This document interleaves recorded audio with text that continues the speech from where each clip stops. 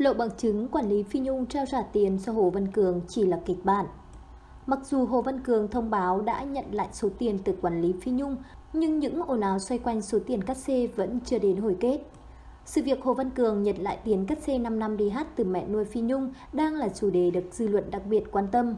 Dù đã thống nhất không giải quyết mọi vấn đề sau khi ekip trao tiền, nhưng dư âm vẫn tồn tại. 9 người mới ý bàn tán xôn xao về lùm xùm này. Một số người quay sang ném đá Hồ Văn Cường khi cho rằng nam ca sĩ đã quá hèn nhát, vô ơn, không dám lên tiếng để làm rõ mọi chuyện.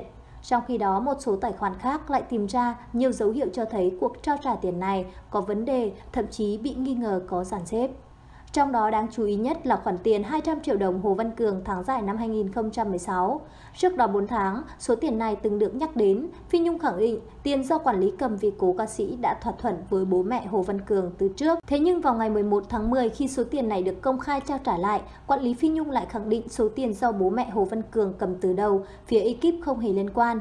Để chứng minh mẹ Cường còn khoe cầm trên tay cuốn sổ tiết kiệm, để chứng minh mình cầm Tuy nhiên, bằng con mắt thánh soi của cư dân mạng, một số người đã chỉ ra chi tiết sai khác, khiến cho sự việc bị nghi ngờ có dàn xếp, thỏa thuận. Đó chính là việc cuốn sổ tiết kiệm được mẹ Hồ Văn Cường cầm làm mẫu ngân hàng mới phát hành. Nếu là năm 6 năm trước, thời điểm giọng ca gò công thắng giải, đối chiếu giữa mẫu cũ và mẫu mới, mẫu cũ có dòng tiếng Anh, trong khi mẫu mới đã không còn. Ngoài ra, một tài khoản còn công khai ảnh minh họa cho thấy cuốn sổ tiết kiệm của mình mở năm 2020 có đầu số 034XXX trong khi đó, sổ của mẹ Hồ Văn Cường mở năm 2016 lại có đầu số 0395XXX. Căn cứ vào loạt bằng chứng này cho thấy phát ngôn của mẹ Hồ Văn Cường và quản lý Phi Nhung hoàn toàn bất nhất. Cuốn sổ mẹ Cường cầm trên tay không phải cuốn sổ cũ mà là cuốn sổ mới được lập. Khoảng thời gian chỉ từ năm 2020 trở lại đây mà thôi.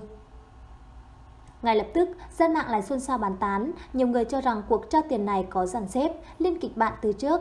Thông báo quản lý Phi Nhung cũng khẳng định rằng gia đình không muốn công khai số tiền cắt xê cụ thể. Điều này khiến dân tình thắc mắc, yêu cầu làm rõ mọi uẩn khúc. Tuy nhiên cũng có bình luận lý giải rằng trong quá trình đáo hạn, ngân hàng sẽ thay đổi sổ, vì vậy có thể trường hợp của mẹ Hồ Văn Cường cũng như vậy. Hiện phía quản lý Phi Nhung vẫn chưa có động thái lên tiếng làm rõ ồn ào. Trên đây cũng chỉ là suy đoán của cư dân mạng, sự việc cụ thể ra sao phải chờ người trong cuộc lên tiếng.